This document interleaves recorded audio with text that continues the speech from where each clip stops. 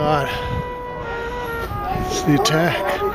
The attack of the Santa Claus. Jeez, guys.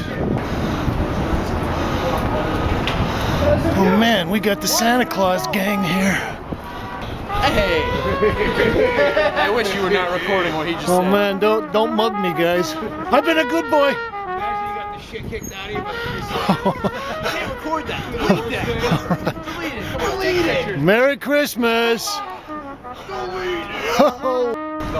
Oh, wait, was there a Santa Claus convention in town or what? Must have seen 20 Santa Clauses running around.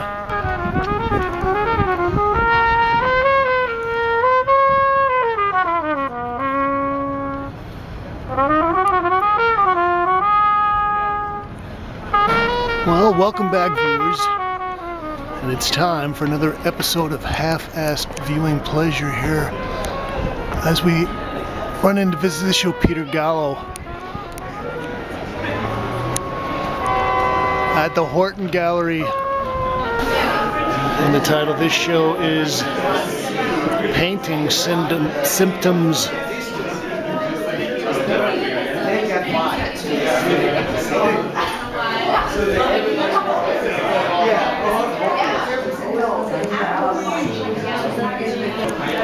Well, I just went back and talked to uh, Sean Horton and asked him if he had a list of the titles. He says it's on the website, which doesn't help me much. Anyway, this is a nice little painting. So we're gonna fudge this. I first uh, became acquainted with Peter Gallo's paintings at a. Uh, this was uh, the Miami uh, Art Fair about four or five years ago, and uh, at that time he was showing with uh, Nick Lawrence and Freight Volume. Now, I don't know the title of this piece either, but it's kind of a uh, three-masted uh, guy in the middle. And then we see that he's kind of let the canvas hang on the edge there. Kind of relates to some of the stuff that uh, Steve Parrino was doing. Oh, and this is probably the biggest uh, Peter painting I've ever seen. Most of his work is fairly uh, small or intimate. I think one of the things that I enjoyed about uh, Peter's work is that it's, uh, in a lot of ways, this is kind of a harbinger of what I've been talking about lately as far as the crappy little paintings or the abject paintings. Friendship.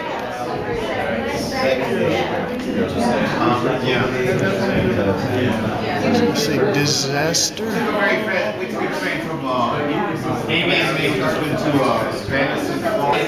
So it says modernism, sort of. It's got his little wooden slats on there.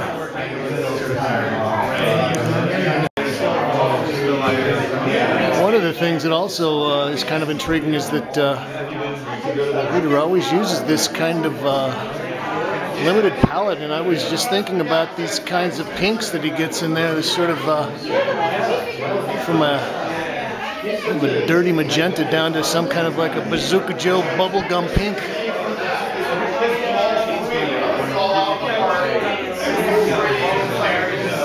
There's also a very funky quality about this. This looks like he's got uh, toothpicks that he's stuck on here.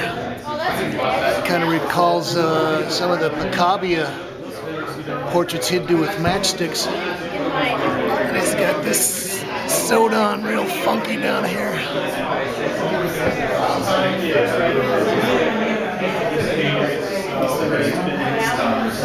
There's the painter man. Intifada. Shake it, shake it.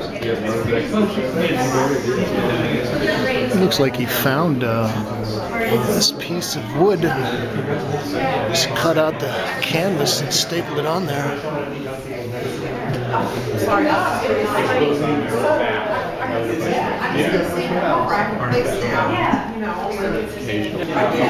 This is, uh, I guess, one of the themes of the show is this uh, three-masted schooner. Now, if any of you have seen the, uh, the Dart East River Studio show, he also was uh, just stapling his linen onto uh, frames or onto boards. And I think there is kind of a, uh, a shared aesthetic of the real funky and uh, rugged, primitive urgency to slap these pieces together. This is nice. He's sort of got, getting into some grays here.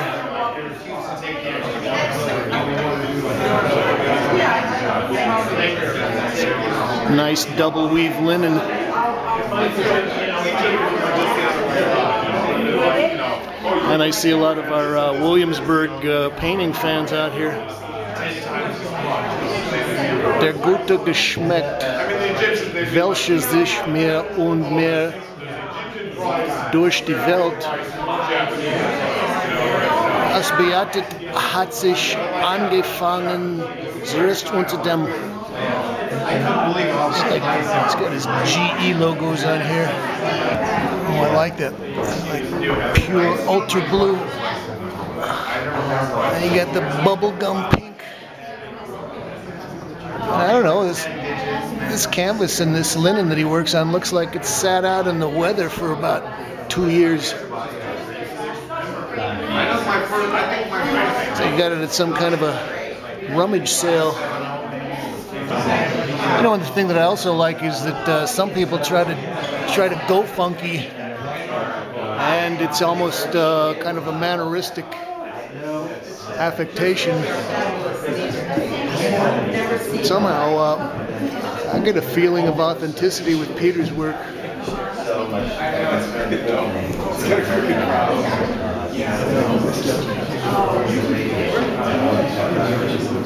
Stuff really is funky. and I think Peter lives up in Vermont. Maybe he teaches up there. It's just on a nice rugged piece of board.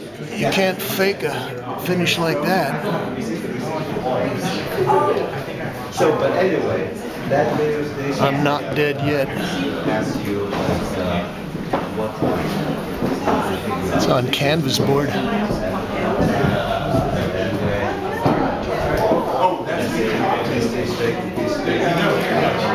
I guess the reason that I like these uh, pieces that are kind of funky is because makes you more aware of the materials and uh, what a uh,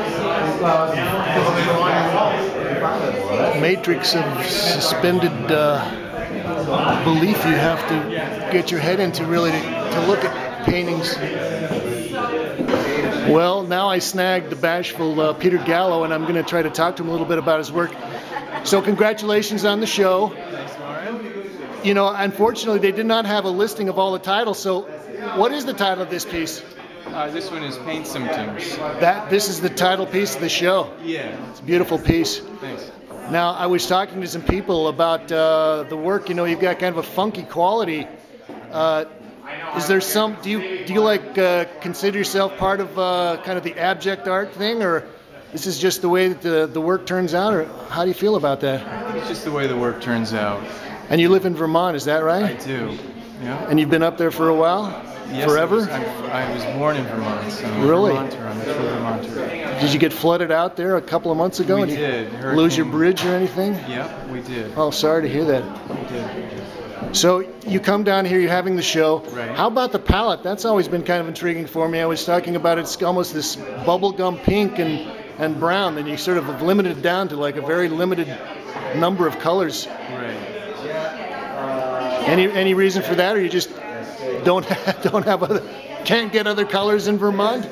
Yeah, I guess that's sort of it. Well, you know, I, it's probably related. In some ways, it's the, it's the where I live. It's very austere. There's the light is very, very um, nacreous and and white, and certain times of the year where, especially in the fall, where the leaves have gone. I, I mean, I draw it from sort of the environment, the space that I work in. And, but I, like- you know, it's it's also like early Mondrian and Yes. painting that I love to go look at, you know, early Mondrian paintings where he just had a gray, pink, and blue palette. So there is a kind of a formalistic uh, Yeah. desire behind it.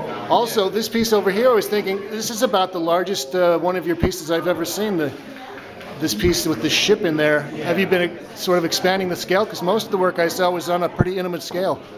Yeah, that's true. I've, I've got some I've got some big works that I've been working on for a while, but I but I just haven't shown them yet. I'm, I haven't been ready to show them yet, and. Uh, They finally dragged this one out of the studio. Yeah, well, I drove we drove I drove it down with a friend. We, we, Threw it in the pickup truck and came down. That's right. we went to the Lincoln Tunnel too. All right, Peter.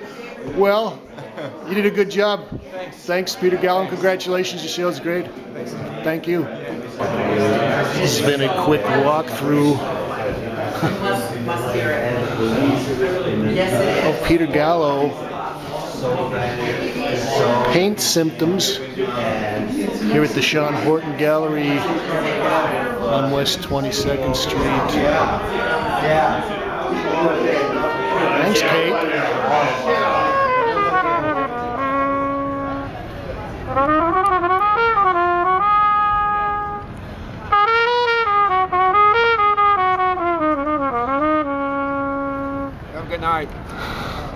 Thank you.